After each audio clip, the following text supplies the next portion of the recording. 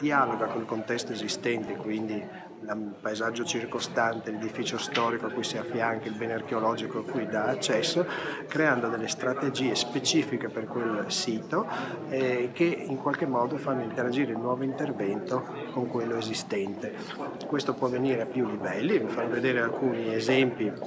i parchi archeologici recenti in Europa, in cui l'idea fondante è che non è un'architettura completa, è un'architettura incompleta se vuoi in sé, ma specificatamente creata per quella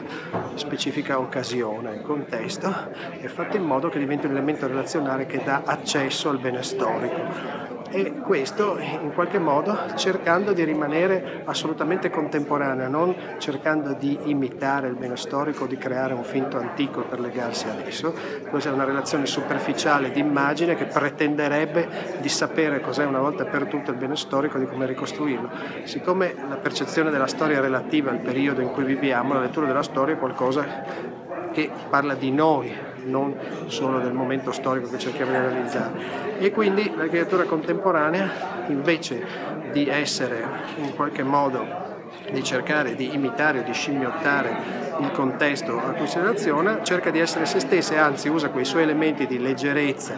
eh, tecnologie trasparenza spaziale e informatizzazione per in qualche modo legarsi in maniera più diciamo, sensibile e leggera possibile al bene archeologico.